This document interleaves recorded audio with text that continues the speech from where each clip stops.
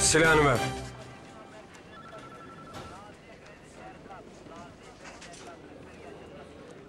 Sana silahını ver dedim.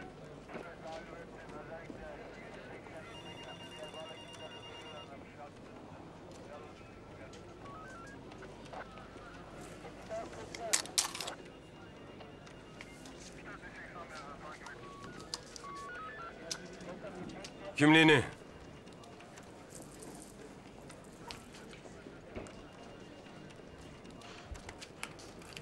Suçum ne? Söyleyecek misiniz müdürüm? Sen suçunu çok iyi biliyorsun. Celal'in adamısın. Tanığı para vererek mi susturdunuz? Ne yaptınız? Tehdit mi ettiniz ha? Neden bahsediyorsunuz anlamıyorum müdürüm. Ben senin değil. Bu arkadaşların müdürüyüm.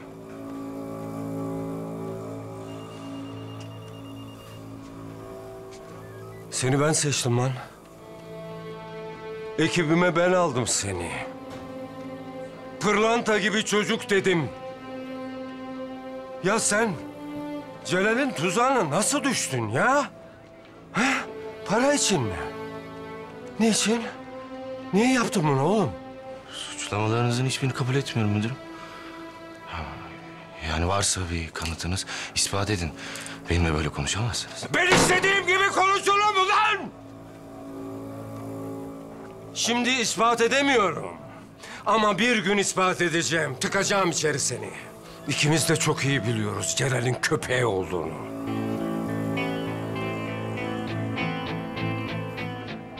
Ne o? Ha? Ağrına mı gitti?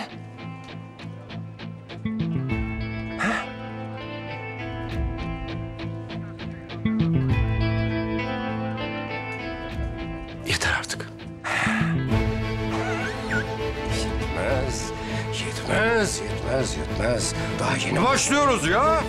Daha yeni başlıyoruz. Her gün buraya gelip şu masaya oturuyorsun, bu bilgisayarı kullanıyorsun. Gözlerimin içine baka baka Celal'i bitireceğiz diyorsun bana. Artık bu masada, bu bilgisayarda senin değil. Sen buraya layık değilsin. O üniformaya, o silaha, o kimliğe, şu insanlara layık değilsin oğlum.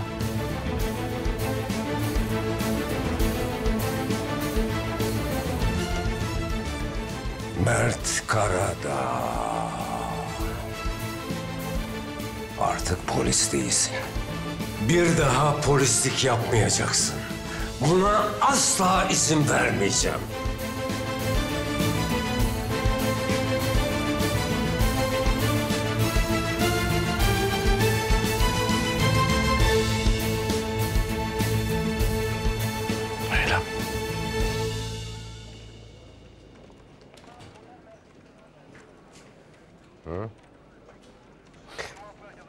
Yaptıklarından gurur duyuyor musun Mert?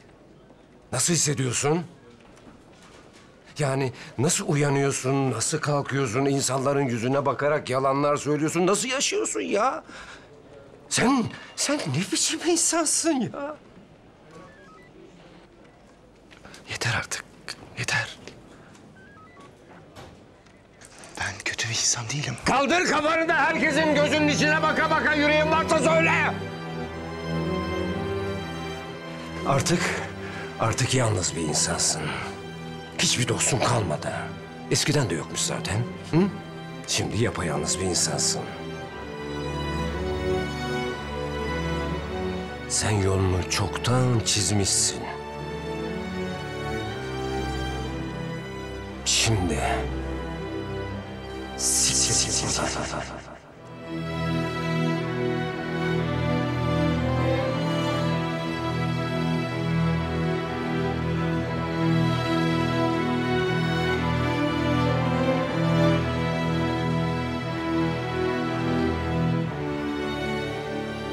Selim, Musa. Alın götürün bunu savcıya. Derdini orada anlatsın.